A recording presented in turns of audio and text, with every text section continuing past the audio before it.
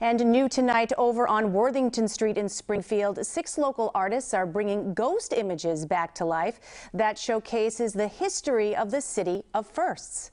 22 News reporter Melissa Torres spoke to these artists about their inspiration for this mural restoration project.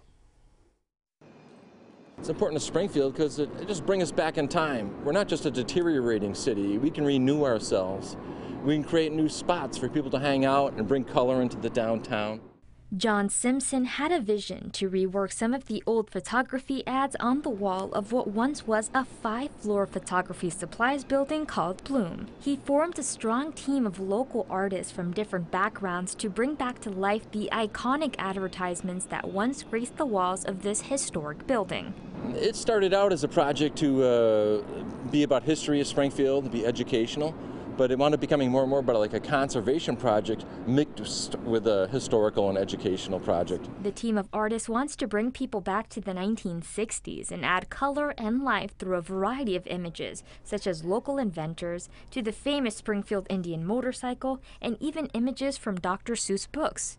I really want people to see the amount of love and care that the people who are working on this wall are putting into it for them. So this is love that I'm putting on this wall, and I just want to project that out to the city. If you drive by, you'll see scaffolding all along the side of the building, with artists working away to preserve many images that represent the remarkable history of Springfield. We can do some more things like this in the city. I would love, I would love to add to you know the value of Springfield.